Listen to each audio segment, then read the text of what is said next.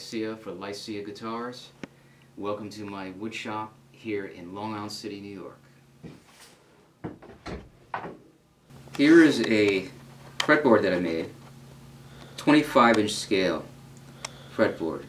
And this is a uh, 14 inch radius right here. I actually never had a space in New York City. However, I did grow up a good part of my life in New York City since my parents were artists uh, there's a lot of inspiration in New York. There's a lot of music, a lot of musicians. Fantastic uh, place to play music. I also play music with my band Mortis here in New York all the time. Um, I'm also in the music building uh, on 8th Avenue in Manhattan. And uh, there's so much inspiration constantly in New York. It's, it's, uh, it's overwhelming at times.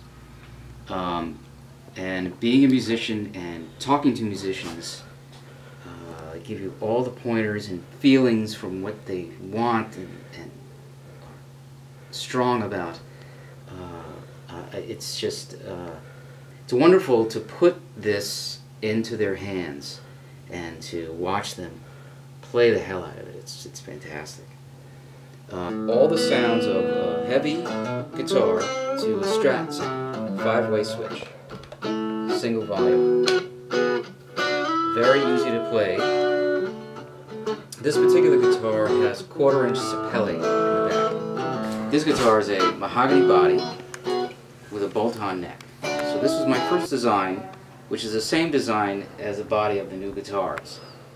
And uh, I finished the guitar and was happy for a short while, but what I really wanted to do was to make a new neck.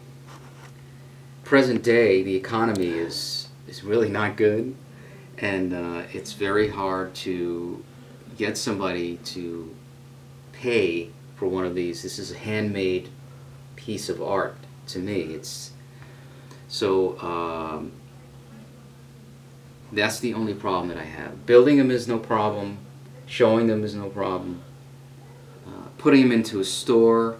Some people are a little reluctant to put it in their store because they've seen it all before, but they, they look at this thing and they hear it and they say, oh, okay, and they kind of believe in it and they, and they, uh, they take it on. I didn't spend money on CNC machines and uh, computer controlled uh, uh, machinery, which is very, very expensive even expensive to run. So this, I'm making sure that I can, I can take care of what I want to do. I can keep my art going, and uh, not get killed by uh, heavy rents. It's important to keep my, myself sane. I would have to be a major manufacturer to handle a New York space. My idea of this came to me uh, a couple years ago when I went to a furniture show at the Javits Center. And uh, there was a booth there uh, of somebody selling bamboo, bamboo plywood. And I, I stood there with my mouth open and I, I said, that's it.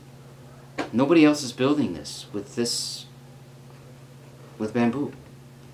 So to be in Montreux, Switzerland, somewhere in the, near the lake in Montreux making guitars and playing music in, in the Alps. That would be that would be incredible. Either that it would be here out west, Colorado, or Jackson Hole, Wyoming. One of those, you know, have a couple acres uh, of just beautiful land that would be really nice.